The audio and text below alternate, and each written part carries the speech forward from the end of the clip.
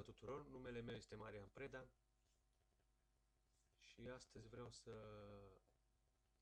vă explic celor care aveți Windows 32 de biți instalat și aveți mai mult de, 4, de 3 GB RAM cum puteți face ca să vadă în întregime memoria pe care o aveți dumneavoastră. Ar fi păcat ca să avem, de exemplu, 8 GB RAM și totuși Windows-ul pe 32 de bit să ne limiteze doar la 3 GB RAM. Uh, este un uh, patch care trebuie instalat, dar uh, înainte de asta va trebui să facem niște modificări și anume să oprim firewall-ul din Windows, mergem pe Start, Control Panel, dacă aveți pe, dat pe categorii și vă arată în, fel, în acest fel, va trebui să-i dați pe Large Icons, mergem jos unde scrie Windows Firewall, mergem la Advanced Setting,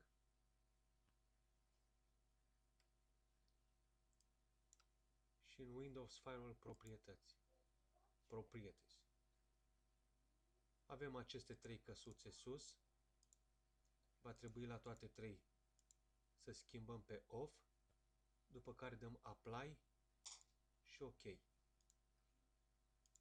Acest pas l-am făcut.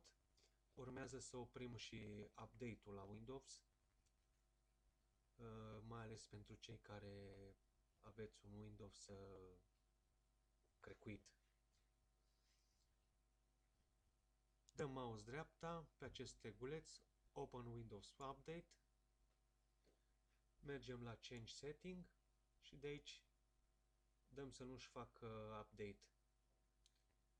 Uh, ne spune că nu este recomandat, dar după ce facem, uh, instalăm page-ul, puteți să, să faceți, să dați setarea înapoi,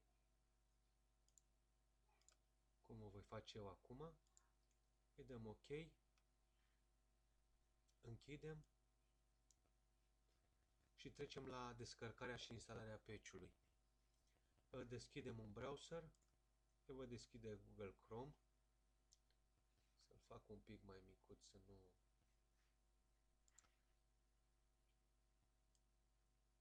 Așa. Vom introduce adresa. Aceasta este adresa și dăm Enter. Mi s-a deschis locul de unde va trebui să-l uh, descărcăm.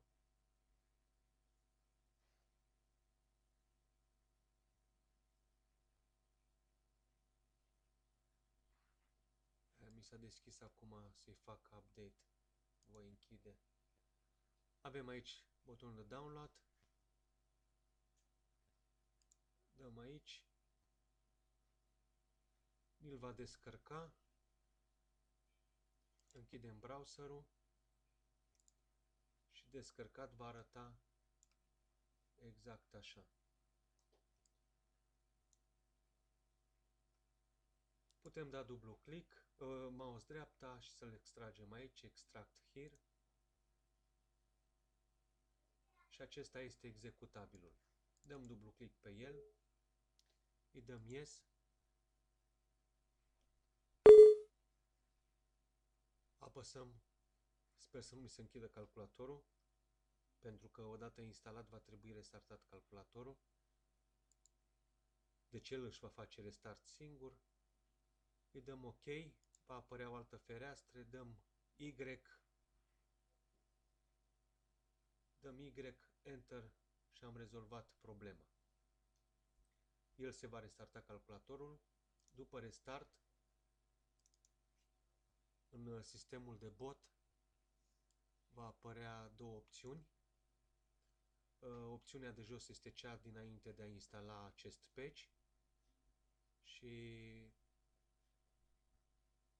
această opțiune este cu patch-ul instalat.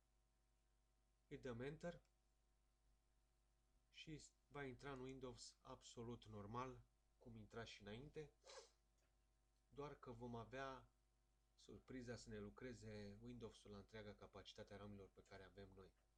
Uitați cum arată după instalarea patch-ului, mi-arată cam 4 GB RAM. Uh, înainte mi-a arătat 4 GB RAM și în paranteză când lucrează doar 3 GB RAM.